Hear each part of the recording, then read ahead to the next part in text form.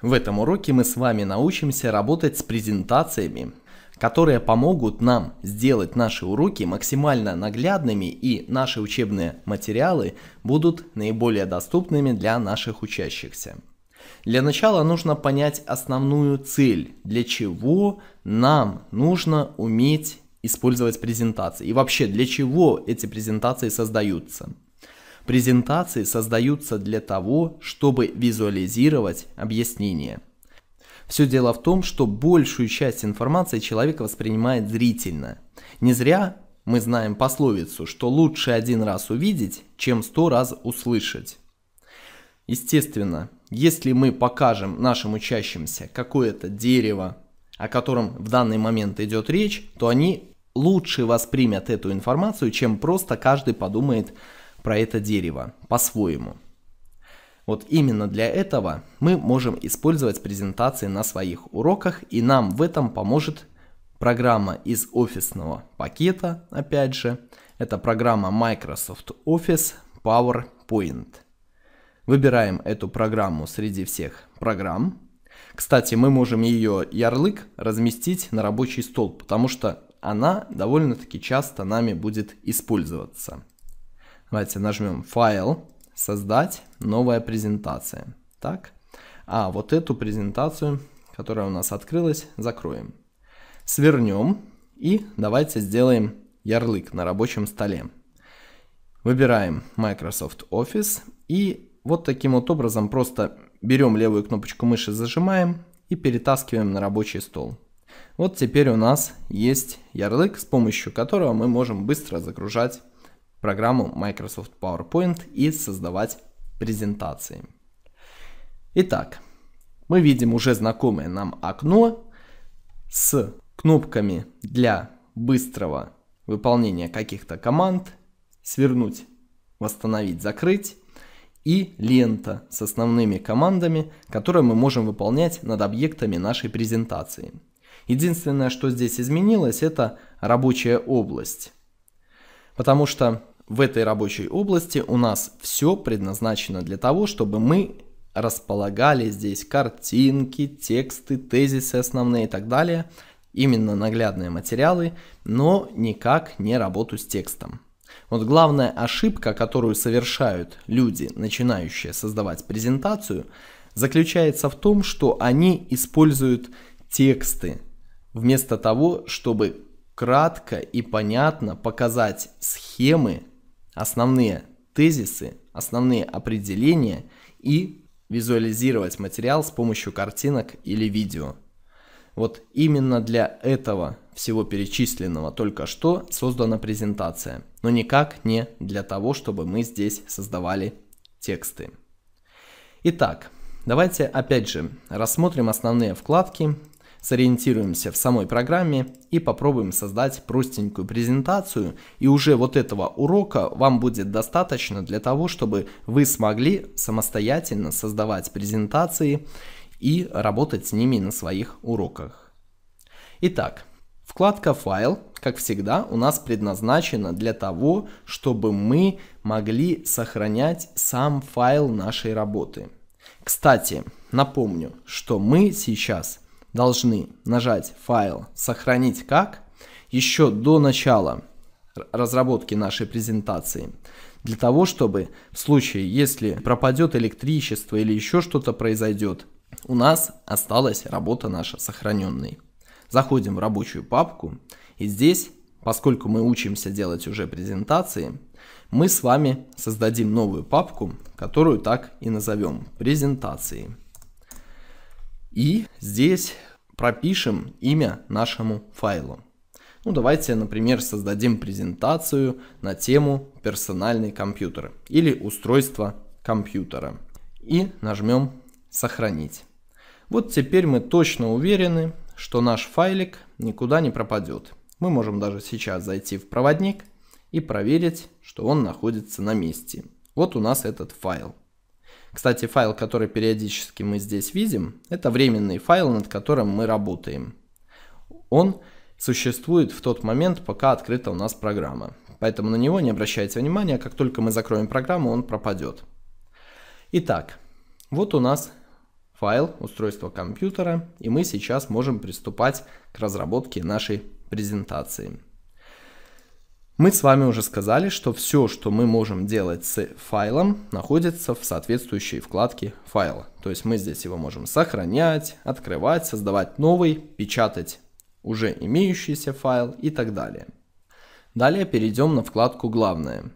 На вкладке «Главное» у нас всегда находятся основные команды, которые наиболее часто используются при работе с данной программой.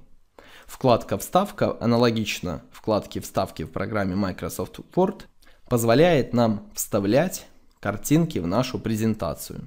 Кстати, в презентациях мы вставкой будем пользоваться чаще, чем в программе Microsoft Word, в которой мы создавали тексты, потому что здесь все в основном будет построено на вставляемых объектах, а не на тексте и не на его форматировании. Далее у нас дизайн презентации, то есть для каждой презентации мы можем выбрать уже какой-то заготовленный дизайн. Но лучше всего делать черным по белому. Ну, естественно, если вы какие-то дизайны интересные нашли, то можно их использовать. Мы будем использовать простой вариант черным по белому. Далее у нас есть переходы. Это при переключении со слайда в слайд мы можем использовать какие-то эффекты. Ну, например, пульсация, прорезание, выцветание. То есть будет постепенно появляться слайд. Сдвиг, появление и так далее. Можем не использовать переходы. Для этого нажимаем «Нет». Далее идет анимации. То есть для каждого объекта в презентациях мы можем задавать какие-то анимации. Ну, например, объект у нас появится, затем будет куда-то двигаться, потом исчезнет. Все это мы можем сделать прямо на одном слайде. И основы я вам покажу в этом уроке. Ну и дальше идет у нас показ слайдов, то есть здесь мы можем тестировать созданную нами презентацию. Дальше рецензирование, то есть мы можем проверить орфографию и так далее. Вид презентации, мы можем сортировать слайды, изменять размер, ставить сетку уже знакомую нам для того, чтобы правильно спозиционировать ровненько объекты, ставить линейки, по которым мы также можем ориентироваться, добавить направляющие, с помощью которых мы также можем выравнивать объекты друг относительно друга и так далее. То есть вот это все у нас находится на вкладке вид. Ну и надстройки это дополнительные какие-то программы могут совместно работать с нашей презентацией. Итак, сейчас мы можем перейти непосредственно к разработке нашей презентации. Называется наша презентация устройство компьютера. Вот именно так мы и напишем в нашем заголовке устройство компьютера. Поскольку это заголовок, мы можем делать больший размер, сделать жирный шрифт и выбрать, допустим, либо красный цвет, либо какой-нибудь темно-синий, ну тот, который нам понравится. Можно оставить просто черный цвет. Здесь мы можем вот эти объекты перетягивать, позиционировать друг относительно друга. Кстати, вот эти заготовки то, куда мы вводили только что текст, и вот под заголовок слайда, это подсказки самой программы. Мы же с вами сможем самостоятельно вставлять тексты в любое место нашей презентации, которое нам нужно будет. Ну, для этого входим на вкладку «Ставка», выбираем надпись и выбираем какую-то область для текста. И здесь уже пишем текст. Вот это будет у нас одним объектом. Таких объектов мы можем создавать несколько, то есть мы можем выделять этот объект, копировать его. Для этого выделяем его, правую кнопочку мыши, копировать, правую кнопочку мыши и вставить. Вот у нас этот объект появился. Можем использовать комбинации горячих клавиш. Ctrl-C это скопировать, Ctrl-V это вставить. И можем размещать их в любом месте нашей презентации под любым углом, так как нам это нужно. То есть вот за эти маркеры мы можем вращать наши тексты, точно так же, как и любые другие объекты и так далее. Ну и поскольку у нас здесь были уже заготовки какие-то, то мы можем использовать именно их. Нам разницы нету. То есть это обычный текстовый блок, который мы можем вставить вот так, как только что посмотрели. То есть мы можем пользоваться готовыми, либо вставить свои, разницы нету. Дальше уже идет форматирование текста внутри блока. То есть мы его выделяем и здесь уже делаем размер, выбираем шрифт, какой нам подойдет, выбираем начертание, курсивное, подчеркнутое, с тенью, цвет и так далее. И точно так же эти блоки, которые нам предлагают ввести, мы можем удалить. Для этого выделяем его. Вот наводим курсор, у нас появляется такой указатель в разные стороны. Щелкаем левой кнопочкой мыши, видим, что он выделен и нажимаем Delete. Вот таким вот образом у нас удаляется этот подзаголовок слайда. И сюда мы можем поместить картинку. Картинка вставляется следующим образом. Переходим во вкладку «Вставка» и здесь выбираем «Рисунок». При таком варианте вставки изображений нам будет предложено найти рисунки на нашем компьютере. Но если у нас не будет таких картинок, вот допустим, здесь нам тюльпаны никак не подходят – потому что мы говорим о компьютере, то нам нужно будет брать картинки где-то в другом месте. В частности, мы их можем легко найти в интернет. И это мы сейчас также рассмотрим, этот вариант. Либо можем зайти в вставку, выбрать картинки из коллекции и здесь уже вот найти подходящий нам фрагмент изображения. Ну, допустим, вот компьютер у нас. Вставляем, он здесь появляется. Конечно же, намного проще использовать поисковые машины и находить эти картинки для своих презентаций в интернет. Для этого открываем браузер. С самой программой браузер мы с вами еще познакомимся. Браузер это специальная программа, с помощью которой мы можем перемещаться по сайтам в интернет. Она их загружает в том виде, в котором они должны быть. Загружаем эту программу, видим здесь у нас есть строка адресная, здесь пишется адрес сайта, и после того, как мы написали адрес сайта, например, яндекс.ру, либо я.ру, это сокращенно сайт Яндекса, мы можем ввести соответствующий запрос, который нам понадобится для нахождения нужной нам картинки. Ну, например, компьютер. Нажимаем Enter, либо кнопку «Найти» и видим, что у нас есть такая вещь, как Яндекс Картинки. Вот мы сюда можем переключиться, либо вот здесь Яндекс Картинки найдено 8 миллионов картинок по запросу компьютер. Просто переключаемся в этот раздел. И здесь у нас довольно-таки много различных картинок, которые мы с вами можем выбрать для нашей презентации. Ну, допустим, возьмем вот такую вот картинку. Нажимаем ее, нажимаем правую кнопочку мыши и здесь выбираем копировать картинку. Скопировали картинку, эту выделяем, удаляем и здесь нажимаем Ctrl-V, либо правую кнопочку мыши вставить. И размещаем эту картинку так, как нам нужно. Вот у нас появился самый главный слайд который называется «Устройство компьютера». Это слайд с темой нашего урока. Дальше мы можем создать следующий слайд. Для этого нажимаем правую кнопочку мыши и выбираем «Создать слайд». Здесь нам опять же предлагается ввести заголовок и текст слайда. Причем здесь мы можем либо табличку выбрать, либо диаграмму. Вот это вот все у нас идет в качестве подсказки. Мы можем этим не пользоваться, можем просто вставлять свои какие-то блоки, которые нам нужно. Ну, допустим, самое главное, с чего у нас начинаем мы рассмотрение компьютера, это системный блок. Вводим соответствующий запрос в браузере, в Яндекс картинках, системный блок, нажимаем найти и находим подходящую для нас картинку. Нажимаем правую кнопочку мыши, копировать картинку и здесь вставляем изображение этого системного блока.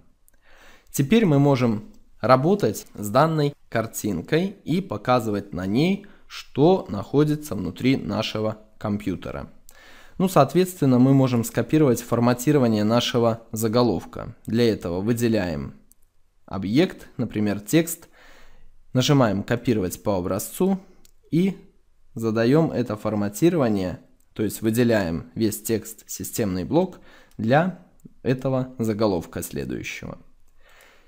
Теперь мы давайте поставим себе такую задачу. Допустим, нам нужно, чтобы на этом слайде мы схематически показали, что где находится. Ну, допустим, вот у нас процессор. Здесь у нас оперативная память находится и так далее. Здесь жесткий диск. Вот давайте покажем эти хотя бы три объекта. Как их показать? Будет, конечно же, хорошо, если мы их подпишем. Для этого входим в вставку, выбираем инструмент надпись и здесь пишем процессор. Вот, после того, как мы написали процессор, можем увеличить размер, потому что, скорее всего, вы будете показывать это на проекторе, и нужно будет, чтобы данные надписи были видны издалека. Поэтому мы их делаем большим шрифтом и можем даже сделать жирным. Теперь мы должны показать, где находится этот процессор. Для этого опять же входим в вкладку «Вставка», выбираем «Фигуры» и выбираем стрелку, с помощью которой мы покажем, где находится этот процессор. Вот.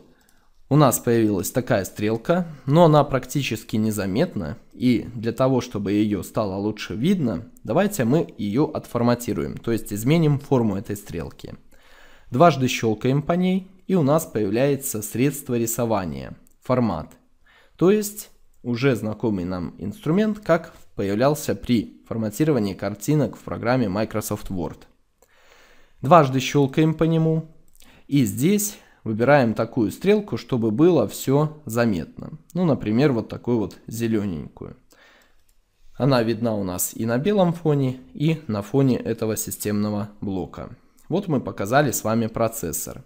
Теперь, для того, чтобы нам заново не пришлось ничего форматировать, мы можем взять просто этот текст, нажать Ctrl-C, то есть зажимаем клавишу Ctrl и нажимаем кнопку C, то есть это произойдет копирование либо правую кнопку мыши и выбрать команду «Копировать».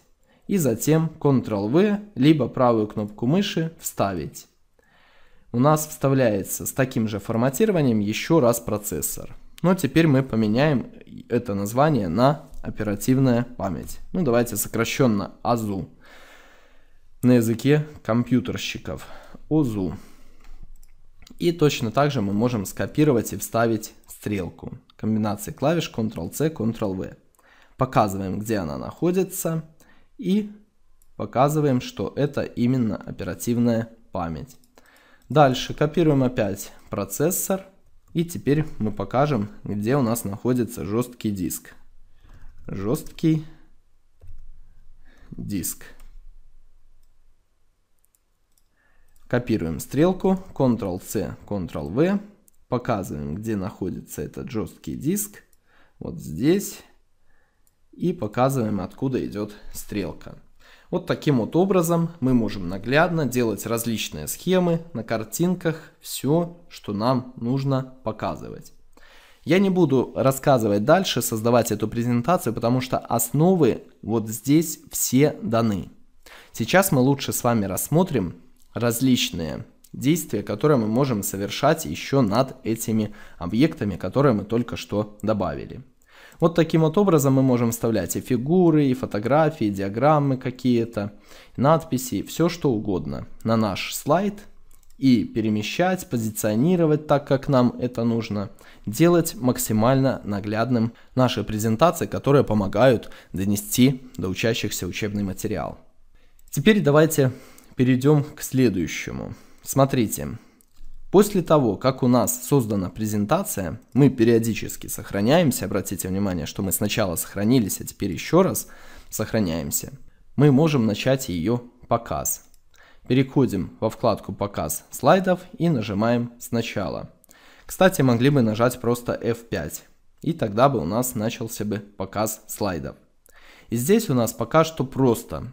Появляется первый слайд и сразу появляется второй слайд. Давайте посмотрим, что такое переходы. Ну, допустим, для этого слайда сделаем эффект выцветания. И опять нажмем показ презентаций с помощью F5 клавиши и нажмем мышкой. Мы видим, что у нас произошел плавный переход от первого слайда ко второму. Это то, что касается вот этих переходов. Ну, довольно-таки красиво смотрится. Можно использовать. Теперь давайте сделаем так, чтобы мы постепенно рассказывали и показывали нашим учащимся, где у нас находится процессор, где АЗУ, где жесткий диск. То есть мы так сделаем, чтобы сначала у нас появилась надпись «Системный блок» и сам системный блок, а уже только потом в процессе рассказа у нас появится процессор, и показывает стрелочка, где он находится, оперативная память и стрелочка, где он находится, жесткий диск и стрелка, указывающая, где он находится. Для этого мы должны использовать анимации. Ну, например, выделим вот эти два объекта, а выделяются они следующим образом. Нажимаем один раз левой кнопкой мыши на один объект и нажимаем клавишу Ctrl, держа ее, нажимаем второй объект. То есть вот эти два объекта у нас должны появиться одновременно. И тоже для них зададим эффект выцветания. Вот у нас появился этот процессор. Вот смотрите, даже если мы сейчас нажмем показ слайдов, у нас все есть, но только по щелчку мыши появляется процессор и показывается, где он находится.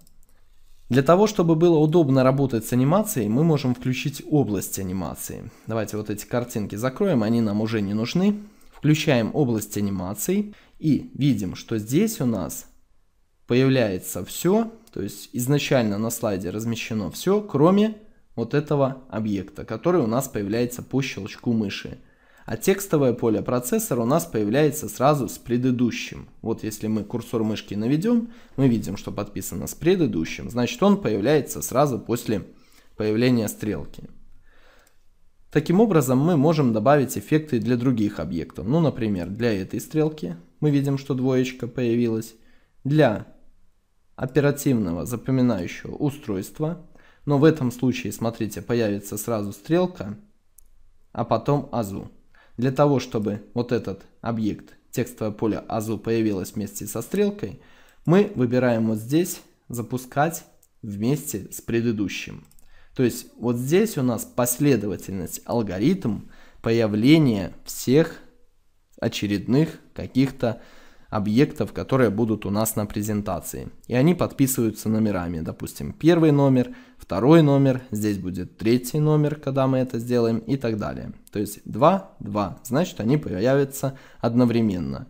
До того, как мы выполнили появляться вместе с предыдущим, мы видели, что здесь было 2, а потом 3. Соответственно, они появлялись не вместе, а последовательно один за другим. Поэтому выбираем запускать вместе с предыдущим. Либо использовать вариант, который я вам показал сразу. То есть выделяем стрелочку, нажимаем Ctrl, держа этот Ctrl, выделяем еще один объект. И для них сразу делаем для двух объектов выцветание. Тогда они вот сразу два появляются. Итак, давайте запустим на просмотр нашу презентацию. Здесь мы говорим тема нашего урока, устройство компьютер, рассказываем что-то и показываем системный блок. И как только речь заходит у нас о процессоре, мы нажимаем кнопочку мыши и показывается, где находится этот процессор, и мы рассказываем про процессор, какие функции он выполняет. То есть дети не отвлекаются на другие какие-то элементы нашей презентации. Дальше нажимаем, когда рассказываем про АЗУ, оперативное запоминающее устройство. Нажимаем кнопочку мыши, показываем, где она находится. То же самое делаем с жестким диском. Вот таким вот образом мы можем работать с анимациями в программе Microsoft PowerPoint. И вот этого вот всего, что я вам только что рассказал, достаточно будет для того, чтобы вы могли полноценно использовать презентации на своих уроках в школе. Ну а если захотите более подробно разобраться, опять же не бойтесь экспериментировать, потому что у вас всегда есть кнопочка «Отменить». Что-то не получилось, отменили, заново попробовали, отменили, попробовали и так далее. Мы можем вставлять любые объекты, размещать их, крутить, вращать так, как нам нужно. В любой момент мы можем что-то показывать и что-то будет исчезать. Ну, например, вот давайте еще такой пример разберем. Вот у нас появляется процессор, показывается, и теперь он должен исчезнуть. Потом АЗУ покажется, исчезнет, жесткий диск покажется и исчезнет. Вот для этого мы можем, опять же, выбрать эти объекты, перейти в анимацию, и вот здесь в области анимации есть еще такой пункт «Добавить анимацию». То есть для этих же объектов мы можем делать сколько угодно различных анимаций. То есть они могут появиться, они могут куда-то переехать, и потом они могут исчезнуть. Для этого выбираем «Добавить анимацию» и выбираем, допустим, эффект выхода. Ну, например, растворение. То есть они вот таким вот образом интересным исчезнут. Причем нам нужно, чтобы вот это исчезание произошло перед тем, как появится АЗУ. Потому что сейчас оно у нас четвертым по очереди идет действием. Для этого выделяем вот эти два пункта, которые находятся в области анимации, и мышкой мы их можем перетащить в нужное нам место. Вот теперь смотрите, процессор появился, исчез, АЗУ появилась, пока не исчезла. Сейчас для него тоже такие анимации зададим. И то же самое сделаем для жесткого диска. Итак, выбираем АЗУ, добавить анимацию, эффекты выхода, растворение. Перемещаем после третьего. Теперь выбираем жесткий диск и стрелку для этого жесткого диска, эффекты выхода и растворение. То есть для любого объекта, я хочу, чтобы вы поняли, мы можем задать свой сценарий поведения на данном слайде. И теперь давайте запустим презентацию на просмотр. То есть рассказываем про устройство компьютера, говорим о системном блоке, показываем процессор. Рассказали про процессор, чтобы он не отвлекал, нажали кнопочкой мыши, он исчез. Появилась АЗУ, нажали кнопочку мыши, исчез. Появился жесткий диск, Нажали кнопочку мыши, исчезла эта надпись. И пошли дальше. То есть вот такие вот фокусы мы можем выполнять с помощью программы Microsoft PowerPoint. Ну а добавлять сами объекты очень просто, намного проще, чем работать с анимацией. Я постарался в этом уроке разобрать самую сложную часть работы с презентациями.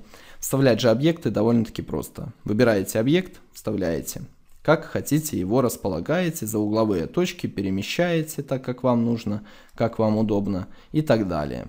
И опять же не забываем про кнопку «Отмена». Ну, естественно, когда вы подготовили свою презентацию, нам ее нужно сохранить. И потом, если нам нужно эту презентацию взять с собой на урок, нам нужно зайти в свою рабочую папку, скопировать эту презентацию на флешке и уже использовать ее потом на своем уроке. Итак, на этом уроке мы с вами практически полностью разобрали все, что вам может понадобиться для работы с презентациями для ваших уроков. И в следующем уроке мы начнем интересную тему работа с интернет.